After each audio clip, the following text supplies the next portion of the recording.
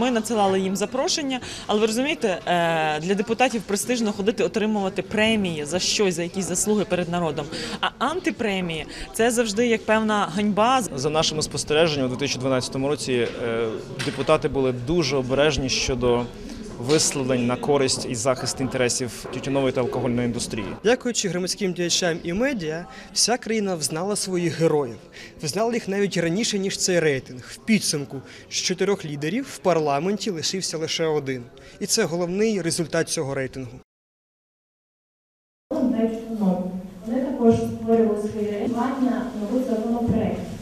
А другий підхід це отдельно минимальной зарплаты и пенсии теперь Це питання, які не пройшли в парламент. Вони є в прес-релізі, вони увійшли.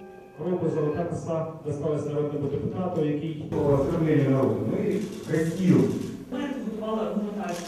Таке перевищення повноважень. крутые. Оглупите. Не елементарних депутатських зарплат. І це ключовий меседж. Друге, по обов'язках. Взагалі унікальний товариш.